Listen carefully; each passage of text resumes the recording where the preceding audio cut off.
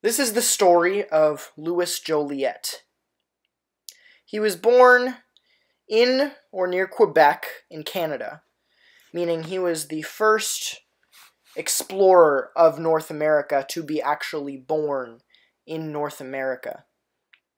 He originally didn't want to be an explorer, though.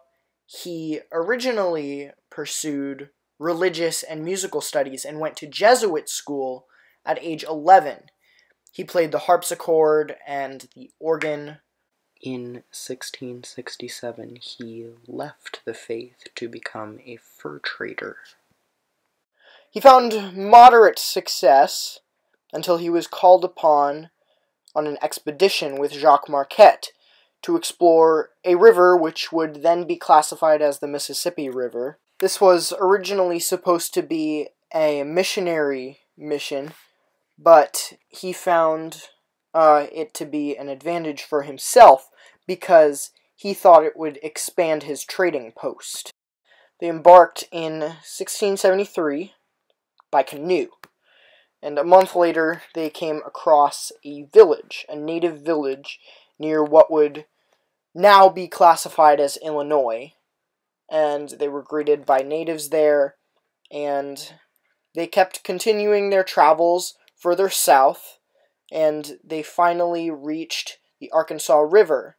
But then they realized that Spanish settlers were already in the Gulf of Mexico. They were thinking that the river would lead to Asia.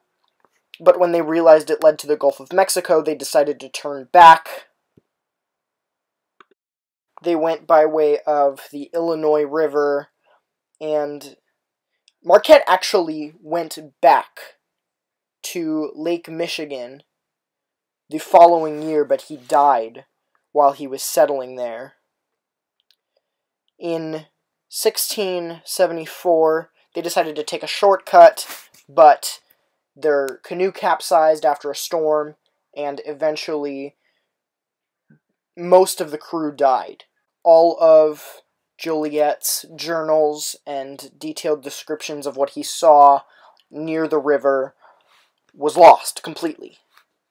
And he was one of the only survivors on that canoe. He recreated most of his journals from memory, and that is the information that we have of his travels today.